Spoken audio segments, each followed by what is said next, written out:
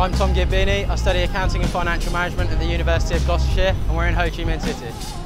Coming into Ho Chi Minh, I saw the vast city beneath me and I was in awe of how large the Asian cities can be as I've never been to this part of the world before.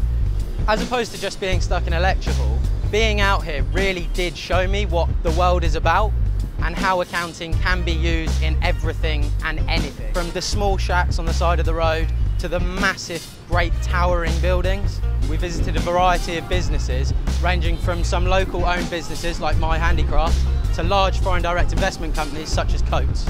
What really opened my eyes on this trip is the fact that accounting can take you anywhere, and in particular, Mai Handicraft showed me that I can do good for the world and also do it in a different place. I was in awe of Mai Handicraft's ethos, as from starting out as social workers and trying to improve the lives of their employees, they've become a massive multi-million pound organisation. Large businesses like Deloitte are showing that foreign direct investment are really having a big impact on Vietnam. As foreign direct investment is a relatively new thing to Vietnam, starting in the 90s, it's interesting to see how much foreign direct investment can do, and you can see that throughout the city broadened my horizons and shown me that I don't have to be just staying in the UK, working in accounts there, but in fact that accounting is involved in everything and I can be anywhere I want to be.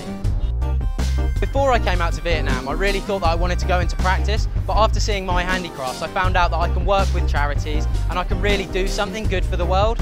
So I think as soon as I leave university, that's where I want to be.